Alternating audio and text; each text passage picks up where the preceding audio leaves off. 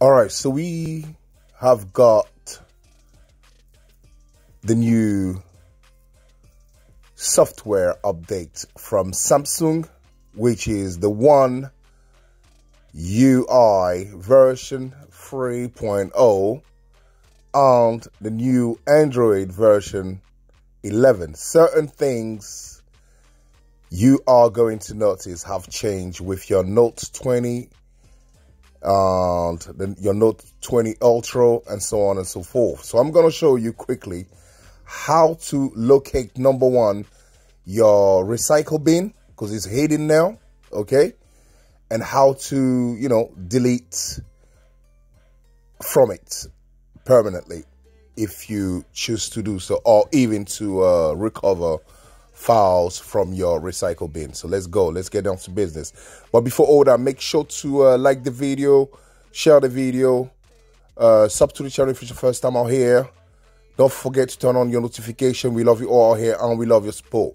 Happy New Year once again to you all. By the way, let's do it do it, people. Bang, bang. Pee. Let's get down to business.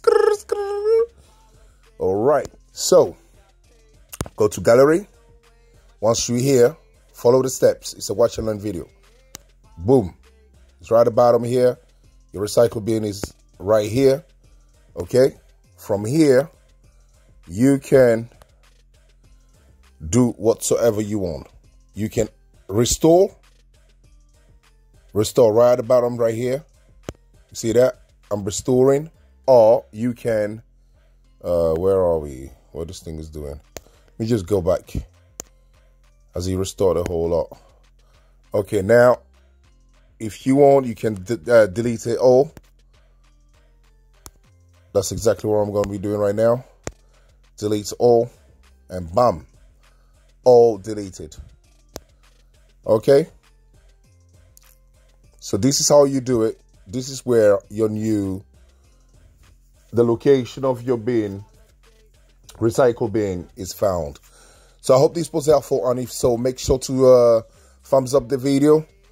Okay, destroy the like button, guys, and uh, share the video if it's any useful to you. Sub if it's your first time out here. We love you all here, and we love your support. Peace out. Let's do it and do it, people. Keep it safe, keep it late, and we shall see you on the next one. Peace.